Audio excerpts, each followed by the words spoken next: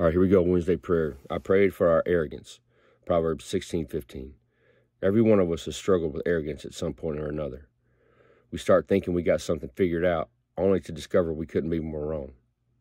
Our shame can lead to crippling arrogance if we allow it. Shame will start making us think we're the only ones struggling with something, that we're all alone in our struggle. Our sin is different than any other that's ever been committed in the history of the world. Spoiler alert, in that regard, we ain't special. There ain't nothing any of us has done that ain't already been done before, that ain't already been forgiven of before. You think God is surprised by your sin? You really think he's on the throne saying, Hey, Gabriel, Susie just told a lie.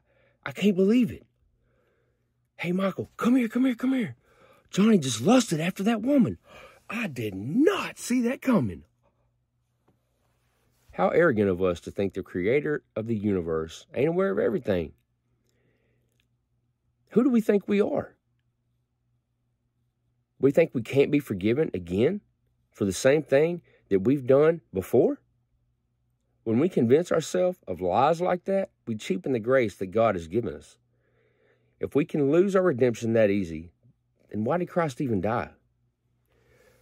I was at a conference this weekend and I heard a pastor say, How many of us have committed sin before Jesus died? That question hit me hard because the answer is zero. Zero of us have committed sin before Christ died. And he died anyway, knowing we were going to continue in our sin. That's grace and forgiveness the devil can't stop. No matter how many lies he tells us, God is not surprised by our sin. He created us. He knows exactly what we're going to do before he made us. So we need to stop being arrogant about ourselves and thinking we've done something new because we ain't special. Love you guys.